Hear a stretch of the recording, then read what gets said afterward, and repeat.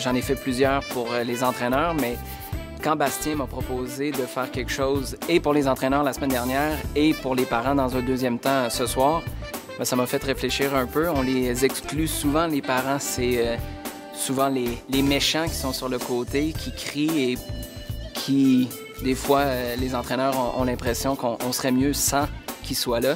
Mais ça a été, euh, ça a été une super occasion de faire quelque chose avec eux ce soir.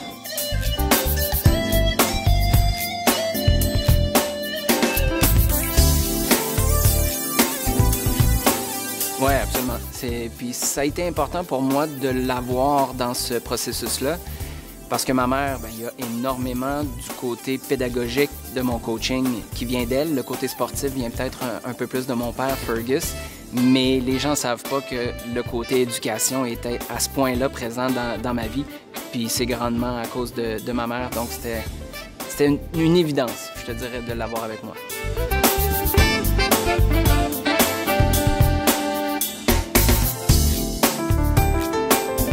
Oui, c'est principalement euh, des, conférences. Moi, mon objectif, c'est de montrer comment livrer du bon contenu.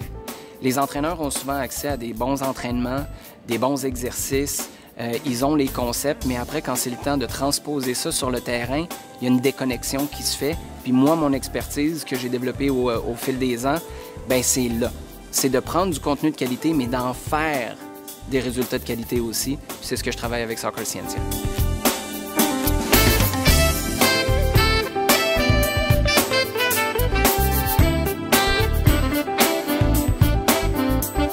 Que les gens sont surpris parce que moi, ce qui est important quand je donne une conférence, ça a été le cas ce soir avec les parents, ça a été le cas la semaine dernière avec les entraîneurs, c'est que je tiens à leur faire vivre quelque chose. Je crois fondamentalement que nos enfants ou nos joueurs vont être un reflet de ce que nous, on vit comme processus. Si on arrive à grandir comme entraîneur, si les parents arrivent à grandir aussi, bien, ça a un effet domino sur, euh, sur les joueurs. Puis je pense que c'est ça le, feedback que je reçois. Je pense que les parents et les entraîneurs sont un peu surpris de se faire sortir de leur zone de confort comme ça.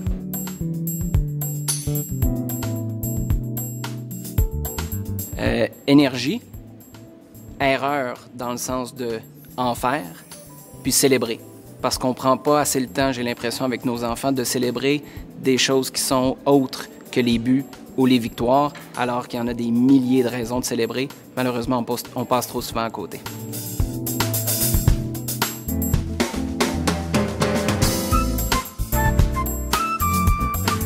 Ah, ça fait plusieurs. J'ai euh, une demande. Euh, là, en ce moment, je suis en discussion avec euh, les gens de Rouen-Noranda pour aller en faire avec eux. Il y a d'autres opportunités ici à Québec. Puis tranquillement à Montréal, les gens me connaissent un peu plus à Québec en tant que formateur, mais je commence à avoir des échos à Montréal, puis j'ai l'impression que ça va débouler dans, les, dans les mois ou les années qui viennent. Ah, ce, serait intéressant. en même temps, je pense qu'il serait pas mal au courant du contenu entre, entre lui et ma mère ça fait pas mal un bon wrap-up de ce que j'ai à offrir comme conférence.